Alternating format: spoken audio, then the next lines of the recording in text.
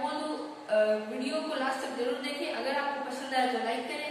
और अगर आप मेरे चैनल पर नए हैं तो सब्सक्राइब करें ताकि और उसके बगल में बेल आइकन को ज़रूर दबाएँ ताकि मेरे न्यू अपकमिंग वीडियो आप सबसे पहले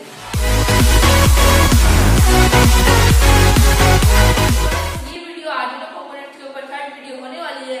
तो मैं आशा करता हूँ कि ये वीडियो आप एंड तक ज़रूर देखें। तो मैंने उस कंपोनेंट्स में एक चीज़ एक्स्ट्रा मिलाया है।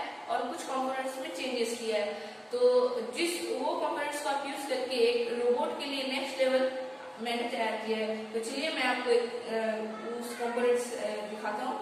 तो फ्रेंड्स हम लोग आ गए अपने कंपोनेंट डेस्क पर। तो मैं आपको नया कंपोनेंट दिखाता हूँ। तो चलिए स्टार्ट करते हैं। तो फ्रेंड्स मैं आपको सबसे पहला आइटम दिखा देता हूँ।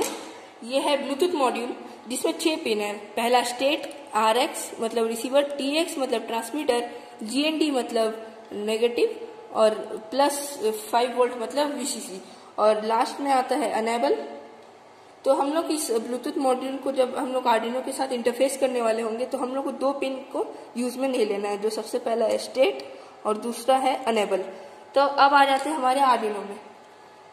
तो आर्डिनो का डिजिटल पिन है ज़ीरो जो रिसीवर है।